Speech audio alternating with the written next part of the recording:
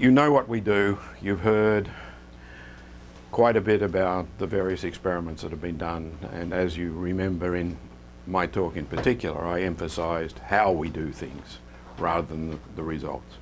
So this is a, today is a, going to be a mixed bag in the sense that we'll be looking at the consequences of what comes from those protocols that we utilize.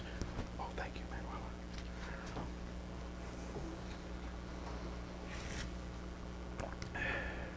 Okay, micronuclei and DNA damage foci formation.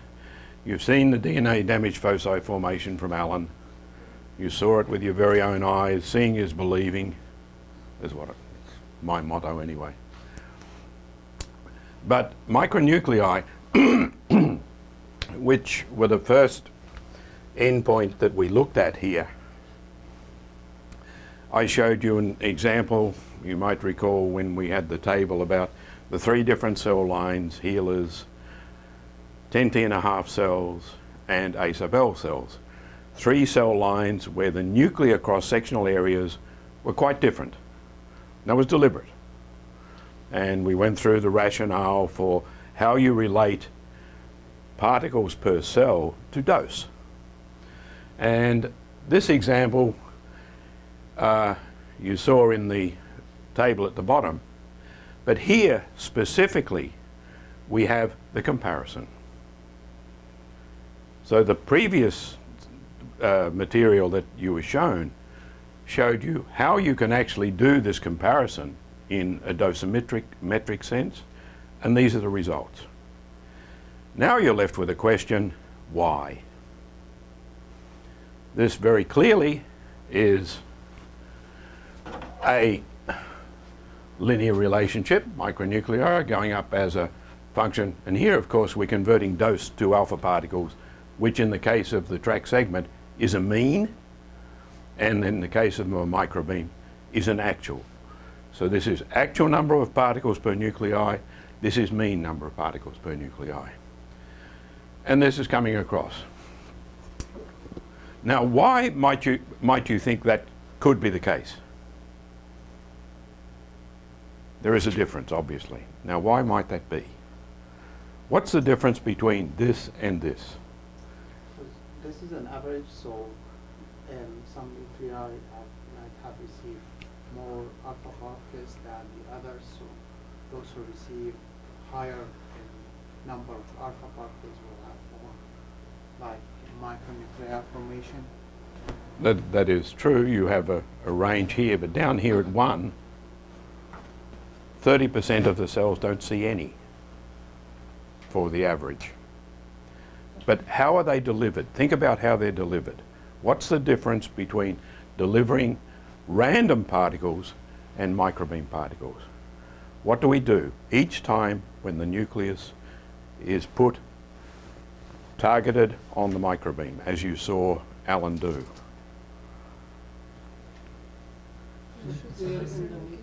You're not shooting at random, are you? You're shooting precisely in the middle of the cell. So this is starting to tell you straight away that there is not uniform sensitivity throughout the cell nucleus.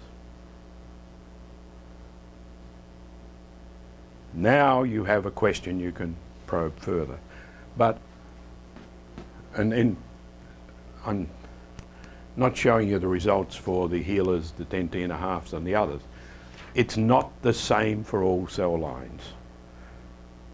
So if I actually showed you the results for those three, which I'm leaving out for the sake of brevity, you are not going to get the same results. So never, ever assume that because you get a result with one cell line, you're going to get it with another. You've got to do it. Now, what did we mean by my, what, what, sorry about this. What do we mean by micronuclei? We're now going to get into how you see them and how you score them.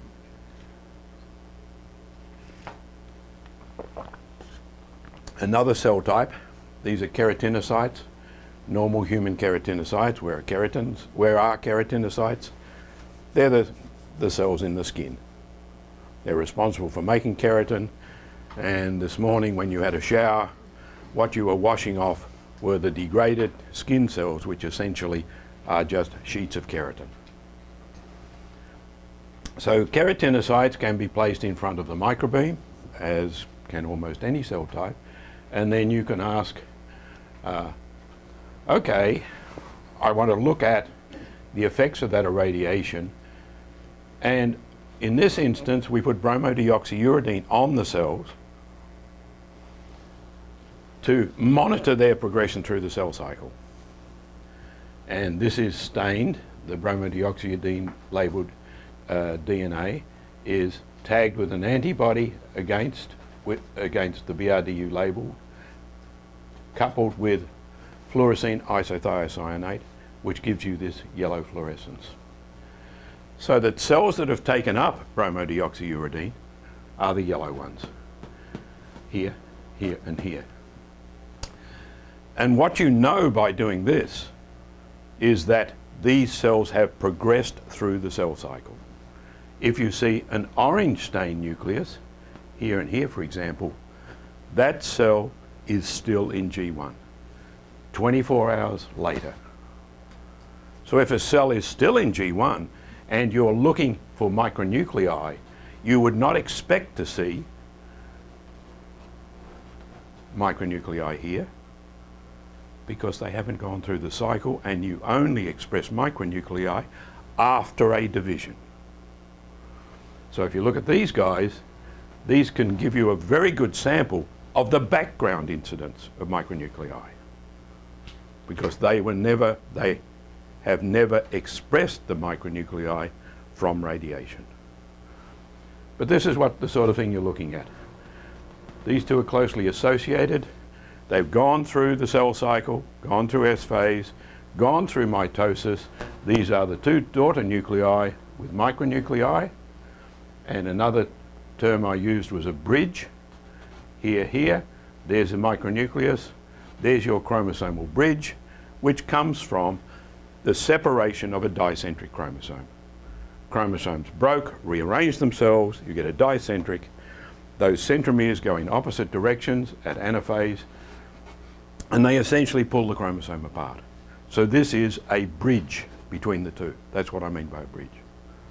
And as you can see, these are easy to see here. So when you see the micronuclei, that means there was no cytokinesis? Oh, no, no, no. On the contrary, there has been cytokinesis. Otherwise, you wouldn't have these two daughter cells, these two daughter nuclei, or these two daughter nuclei. You have to get cytokinesis. When you see a big circle here, green color, Green color? left side, so Yeah. this is the one cell. That's one cell. So how, how do you say there are micronuclei? Here's the micronuclei here. Oh, over there, okay. there and there. And in this instance, it's even clearer because you know that these are two cells that have come about from the division of one cell. You started out with one cell that looked like this, whereas this one stayed without moving through the cell cycle.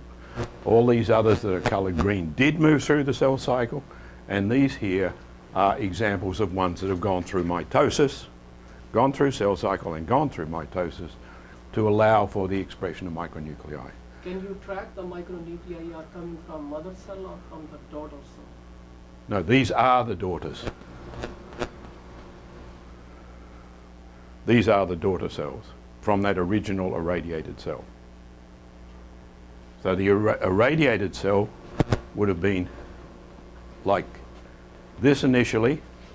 It goes through S phase, it takes up the bromodeoxyuridine, it looks like this. It goes through mitosis and it looks like that. So this, the specific one, at this time, you cannot know. All you can know is that that original mother cell, if you like, was at this position. So mother cells will retain the red color. No. Yes, the mother cells will retain the red colour because they won't have moved. Yes, exactly. So this is a very good way of, of as you can see, it's, it's a hit you in the eye study, which you're getting a lot of information from. fairly straightforward, fairly simple. So the micronucleus assay, as I said, straightforward, simple, and it's a good one if you're starting out doing microbeam studies. Just other examples. I put these up because basically because I like them. They're pretty. So here's an example of a bridge between these two nuclei and the acentric fragments or the micronuclei sitting here. Now those cells were keratinocytes. We're now shifting to another cell type, a melanocyte. And in fact, what I did, I used, when I started these studies, I was interested in the differences in radiation response of different cell types from the human body. And the best situation you can have is to derive different cell types from the same individual. Why? Why would that be good? Why would that be the best situation to, to derive different cell types from the same individual as opposed to different individuals? Are fixing all the other conditions. So you have cells who are growing the same conditions. That is true. The- Well, the conditions have to vary because some of these have different requirements. But same is the word. Now, same. Why are they the same? They come from the same individual. You, for example. Or you. Exactly. So in other words, there is the same genetic control. The genetic background in those cells is the same. Nice situation if you can do it. If you're thinking about it, you're interested in intercomparisons between cell types, think in terms of getting them from the same person to ensure that they have the same genetic background. There's another point about melanocytes which makes them interesting. They're very elongated, as you can see, very long. The nucleus is here, the cytoplasm is going out here. One advantage about a melanocyte is that it contains melanin. Melanin is what makes our skin go brown in the sun, but it also autofluoresces. So you put these under a fluorescence microscope and you can see the cytoplasm because of the melanin in the cytoplasm. Very elongated. How can they be so elongated? Because they move. Keratinocytes sit in one place and essentially stay there. They don't move very much. They're in these block structures in the skin, but melanocytes move around within the dermis. They don't stay in one place. And these guys can really romp around. So that if you irradiate on any given day, you put your bromodeoxyuridine on them to monitor their cell cycle progression, and then ask day one versus day two, are they in the same place? No. No, no, no, no, no. These things can move five, 800 micrometers in 24 hours. So a cell nucleus that might have been here when you started is going to be up here the next day. So don't assume when you're doing a microbeam study and you know where you hit your cells that they are going to be in that place the next day. You have to take account of the fact that these things can and do move and in my experience at least, melanocytes are the racehorses of the cell types of the human body. They really do gallop around. But they show the same sort of results. Here is an example. Here, this is one cell in this direction. This is the daughter cell coming down here. This is the bridge between them, which is shown by the, the yellow fluorescence, the bromodeoxyuridine. The bromodeoxyuridine is in this bridge. And here are the micronuclei here and here. Okay, the question that came up for us was, all right, we are inducing these chromosome breaks and interchanges so that as the cells separate, the daughter cells separate, this DNA is sort of pulling apart like a skein of wool. You know, it's almost as if you had a roll of DNA which is gradually unwinding. How far can they go? The longest one I saw was 800 micrometers. Which, when you think about it, this is pretty cool. How can a we know that in a chromosome the DNA is tightly wound. So what you are looking at is a consequence of that DNA unwinding. And you can see it using an approach like this, using bromodeoxyuridine. There's an example, one example here. Just, oh, could you turn, is it possible to, where's the lights? It might hurt if we could just turn this off for a minute. The lights, uh, yeah, I will see. Oh, that'll probably turn everything off. Maybe just to help you see this a bit better. Okay, I think that might do it. Okay. What we're concentrating on is this one here. Is a cell here, is a cell there. See this? There's a band there coming across, da da da da da. That is joined to that. Okay? Are we agreed? That's a bridge. So that these came from the same mother cell. But, see here, you seem to have something that's going through to there. How is this possible? How is it possible to get a bridge from there to there and yet a bridge from there to there?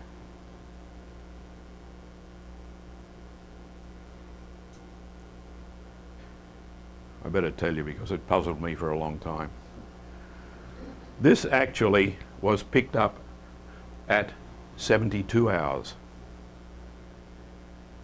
So what has happened is you've had a cell that has replicated and separated, and then those two daughter cells have replicated and in one instance separated and the other instance not. You look at the size of this.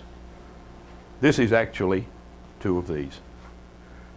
So this one has not divided, which is perhaps understandable. It is a bit screwed up from having lost some DNA.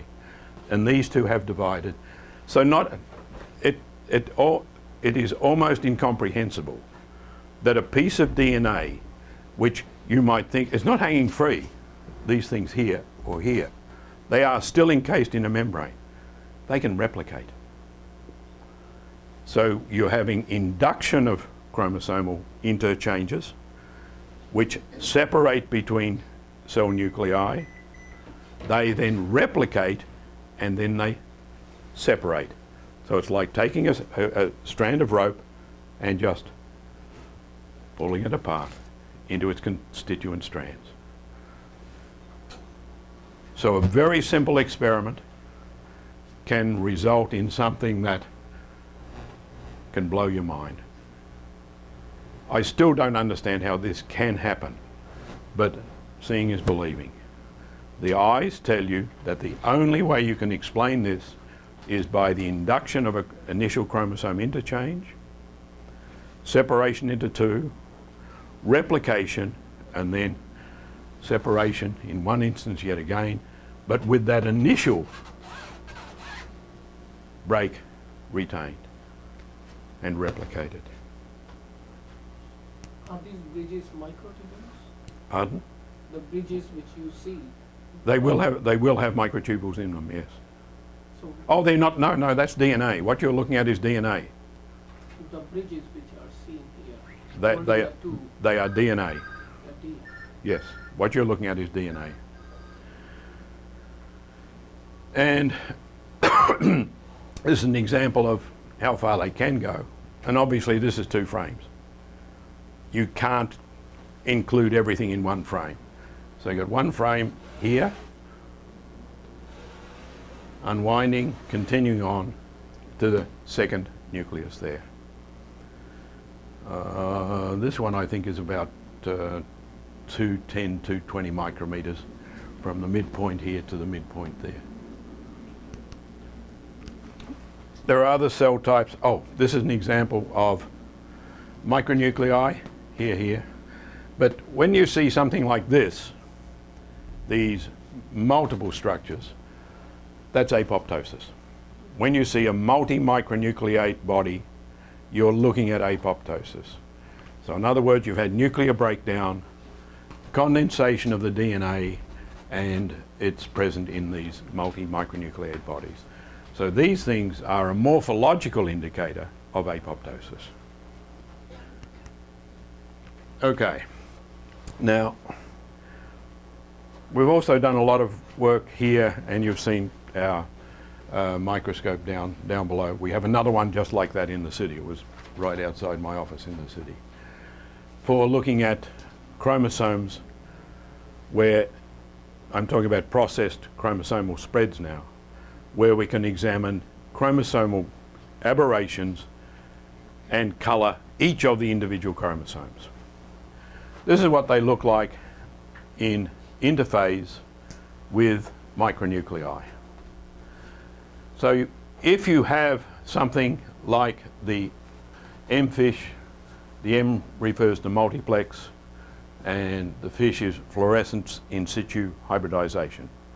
Multiplex fluorescence in situ hybridization. These kits are out there for all the human chromosomes. So if you use a cocktail of these human chromosomes, you'll finish up with nuclei that look like this. They look like masses of chromosomes. But each of these entities here are part of individual chromosomes. One, two, three, four. If you use these, you can actually determine which chromosomes your micronuclei come from. We're not going to go through which ones these are, but all I'm saying is you can. You can determine the origin, the specific origin of micronuclei using an assay like the MFISH assay. And you don't have to prepare chromosomal spreads on slides to do it. You just have to have a fluorescence microscope. Yay. Oh, I'm sorry, you thought you had a question. Uh, Yeah. uh, Same one or the different cells? These two are the same. This one, this one, this one, this one. And the reason why is these are just stained with DAPI, so this is just DNA. Whereas here, the micronuclei, these two come from the same one, these come from something different. This is the other micronucleus here, and that's from a, a different chromosome. So these are, that's the one cell, that's the one cell. Can we study this uh, chromosomal aberration by using pulse field gel electrophoresis? Um, not easily, no, no. How many cells do you I mean, would be pu- able to do the CHEF gel?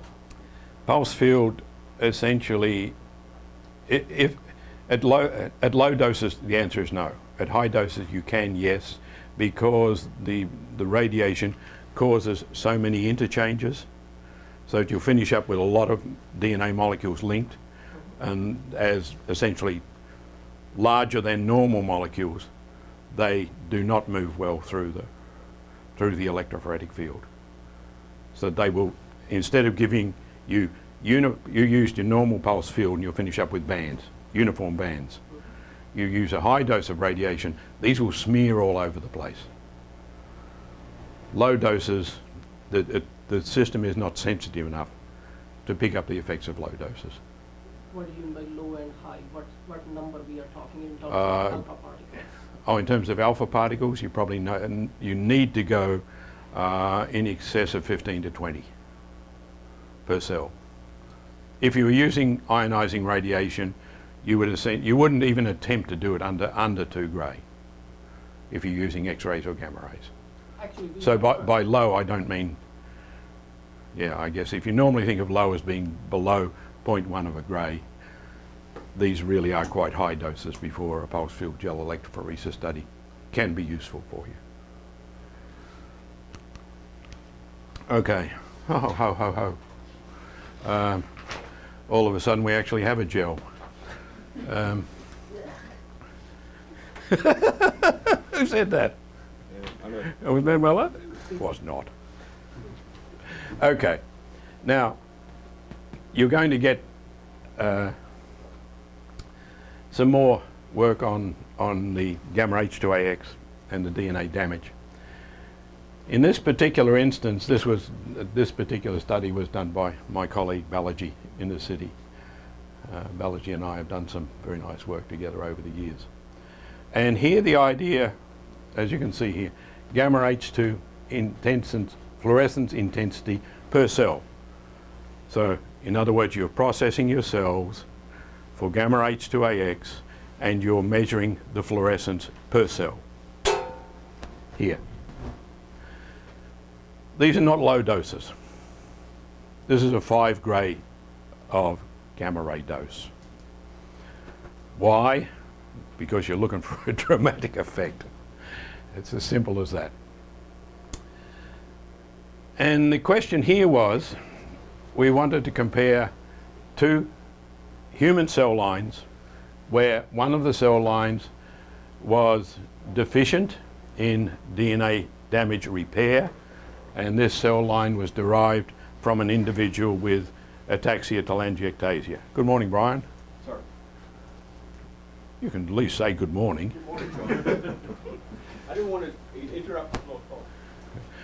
So the ataxias are radiation sensitive, and these are the normals. Okay, you can plot the intensity here, or for a population of cells, you can show the gamma H2AX, and this is the protein now, here in the normal cells versus the AT cells as a function of time. And our intent here was look at this replication protein, which is associated. A number of these molecules in their phosphorylated form bind to sites where DNA damage has been initiated. You actually get a string of these RPAs. But very clearly, these DNA damage deficient uh, cells do not form gamma H2X foci anywhere near as efficiently as normal cells. So the frequency is dramatically different. The kinetics of repair, however, is marginally different, but very clearly after the AT, the incidence is staying high. So you can do a number of studies involving cells of different origins, DNA repair deficient and the like. Now shifting to the RPA in its various forms. When you look at cells down the microscope, you can see a number of patterns, and these can be defined by your image analysis system. In this instance, we noted that basically, even though we don't understand what's going on at the molecular level yet, we can define different types based on the patterns, the fluorescence patterns that we see. We're now interested in looking at gamma H2AX, which as you can see is uh, punctate, in other words, in different solid spots here, is distributed in lots of small spots here, oop, and here. But here you have a very uniform distribution of gamma H2AX. Quite different. Sometimes you see foci, sometimes you don't. Don't assume that it will behave the same in all cells. It doesn't. There are cell cycle phase differences, and within phases of the cell cycle, there are also differences. And then using the other uh, repair protein, RPA, you can see yet again there are quite distinct differences in the types of foci that form, which when you combine the two, gives you images like this. High doses, yeah, these are high doses. High doses in order to establish something which you will then look at in more detail.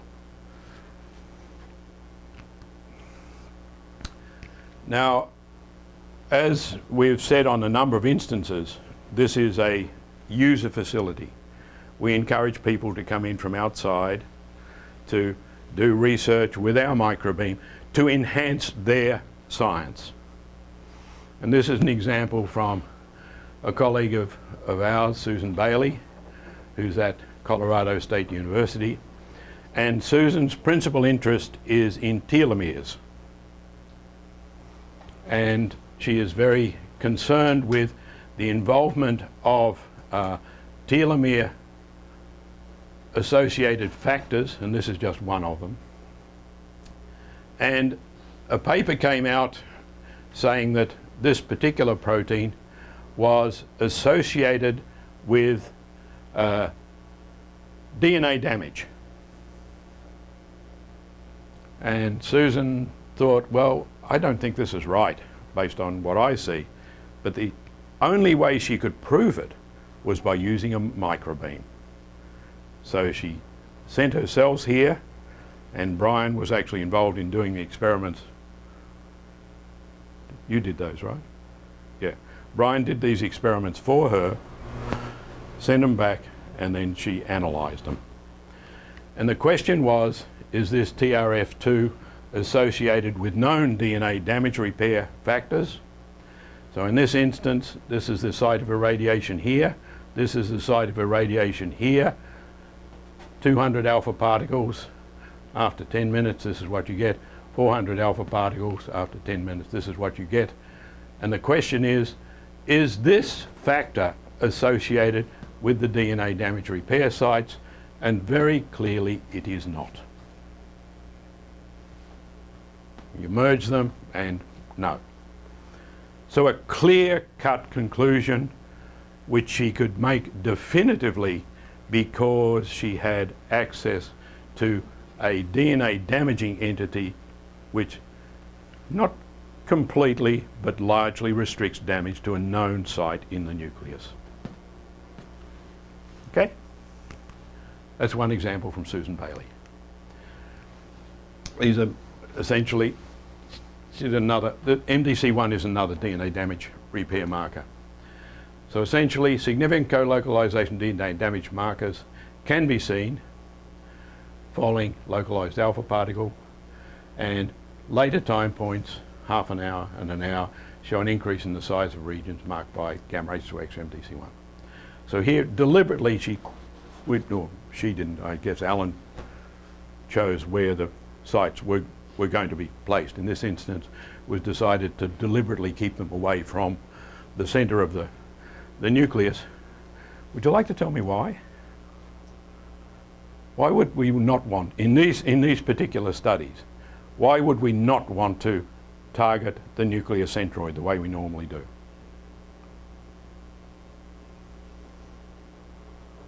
Because the nucleolus organizer tends to confine itself to the middle parts of the cell. So you wanted to go to areas where you were sure that there was going to be a significant amount of DNA.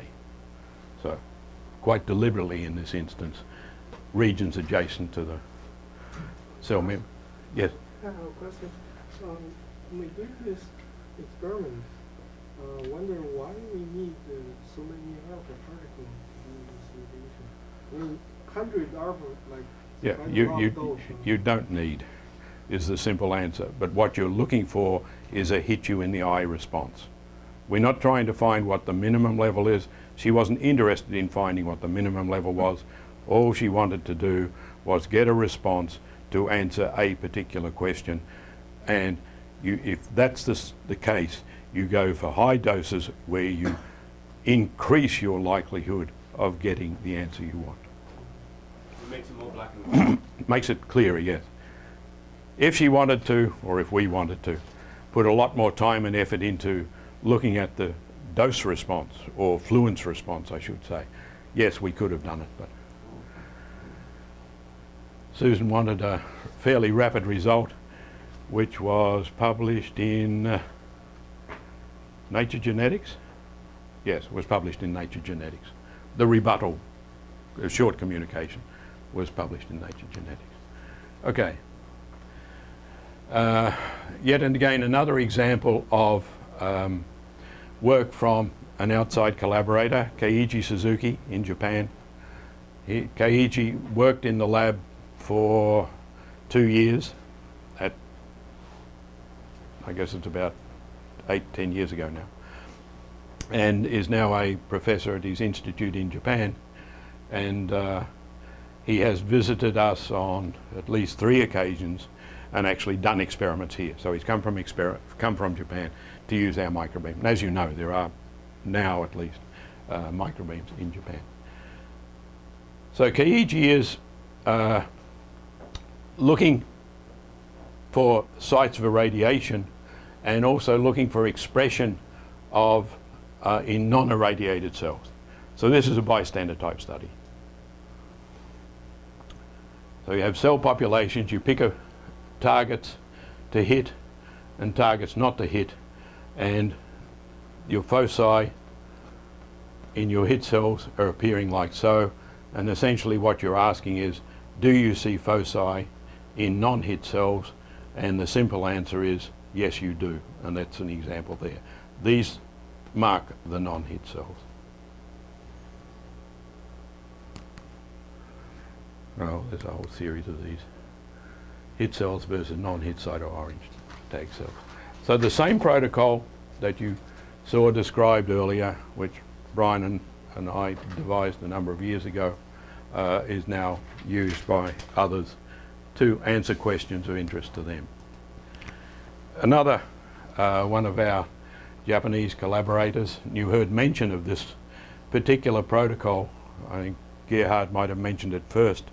Uh, Tomoyu, Tomoo Funayama from JRE. He was here for six months? A year, yeah. Okay.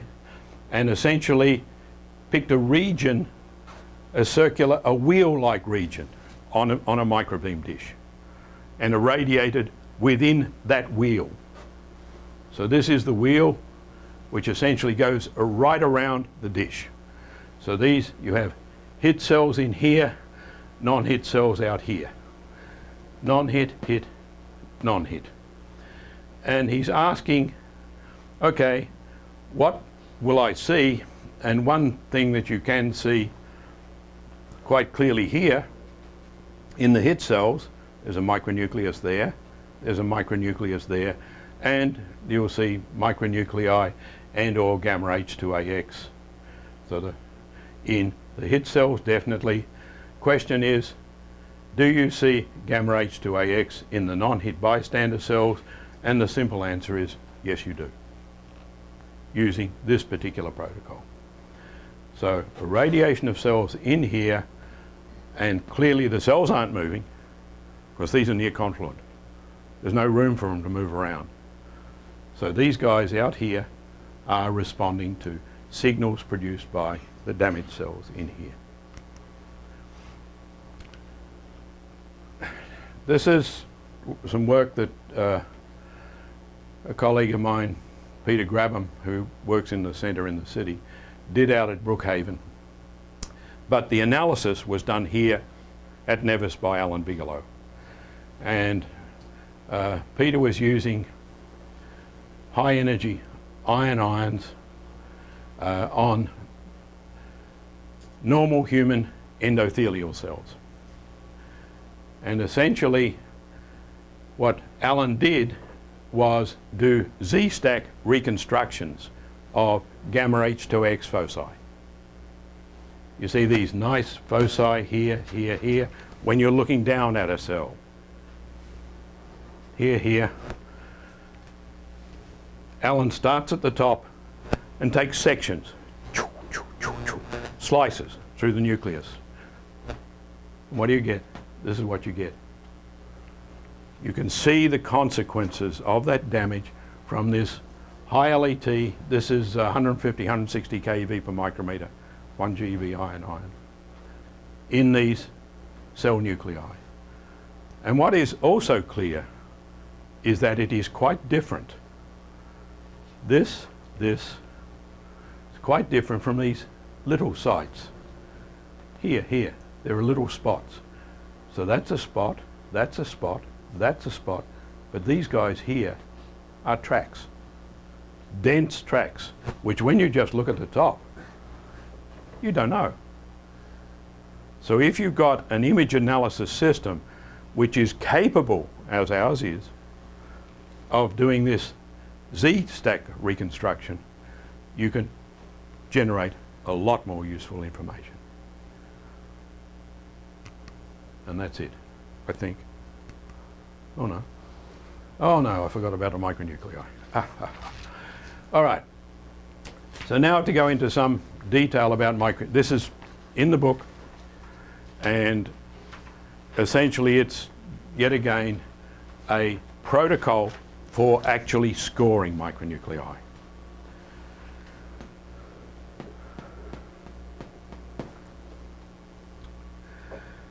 And it was established by uh, a, essentially a, collaboration between many different laboratories. In other words, a lot of laboratories, oh, it says here, 25.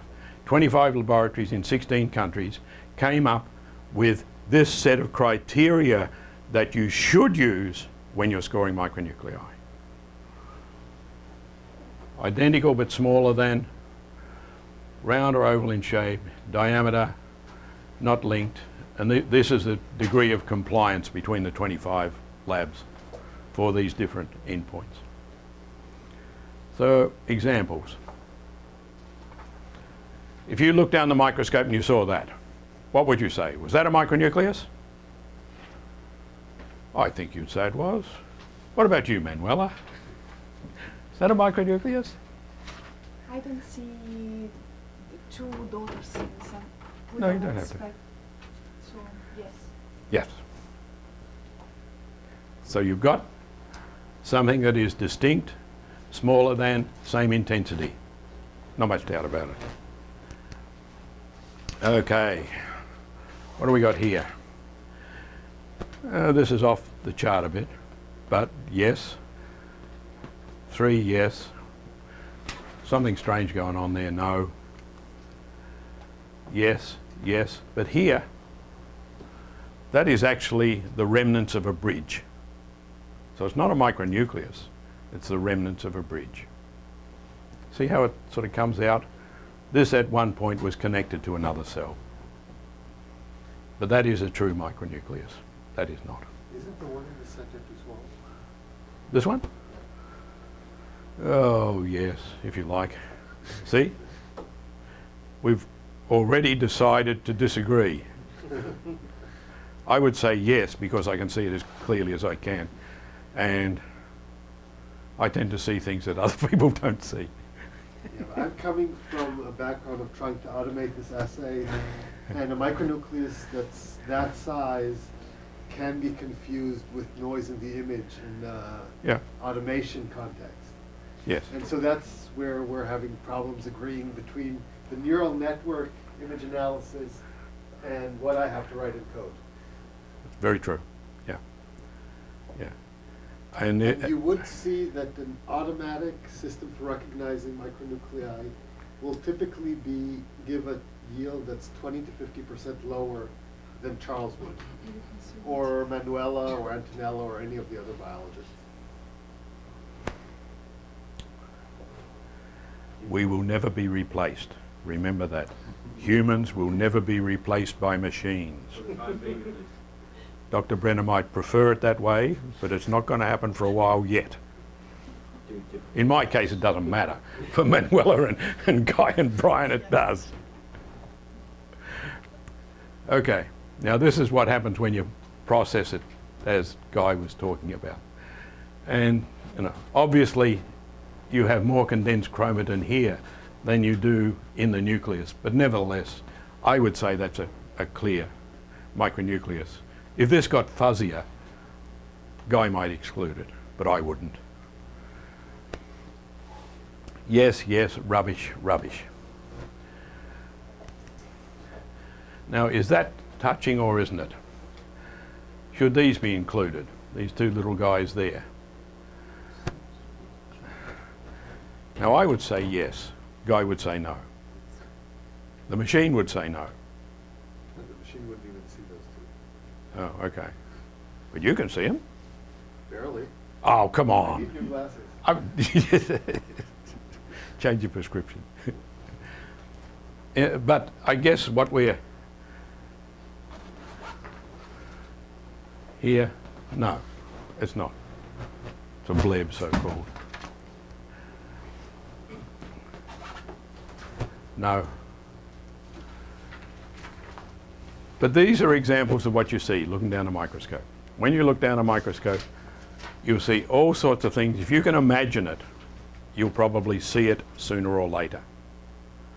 Just set in your mind as firmly as you can the criteria that you are going to use and stick with it. There's more examples. Here you actually have two nuclei. But you look at this, and in point of fact, in this instance, this is still the same color as that. So just because it's not as dense as the ones previously doesn't mean you exclude it.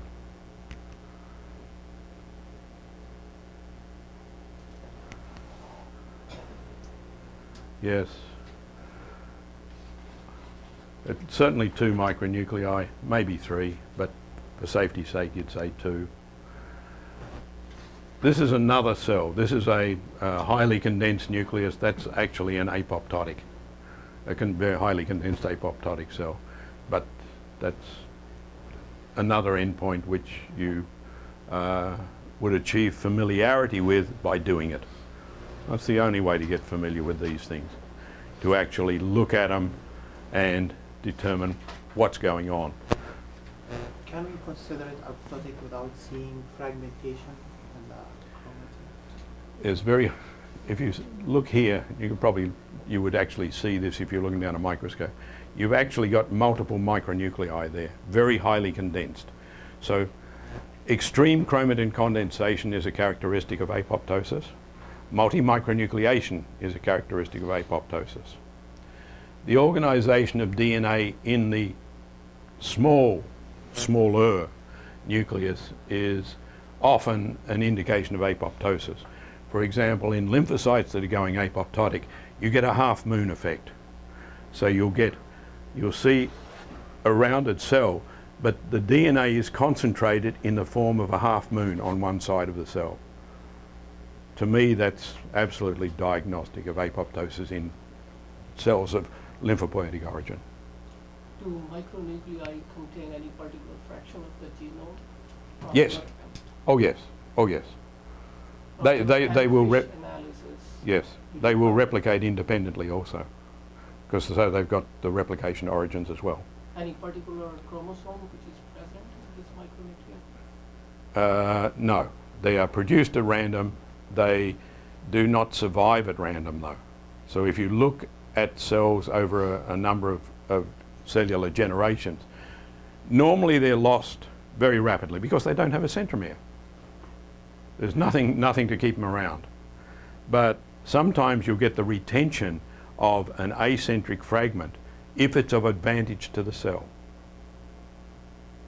In other words, that micronucleus can result in a duplication of a particular advantageous gene sequence, which is now present in, in two copies, because the other one's already there.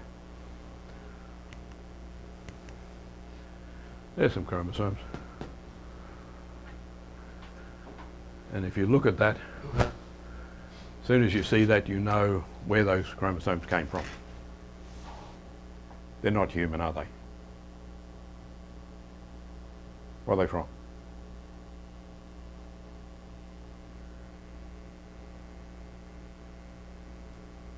Mouse. Mouse chromosomes have their centromeres near the end of the chromosomes. All mouse chromosomes are so-called subtelomeric, subtelomeric chromosomes. So the telomeres are very close to the centromeres. And they have one short arm, very short arm, and one long arm. But they're mouse chromosomes. How'd that get in there? Okay,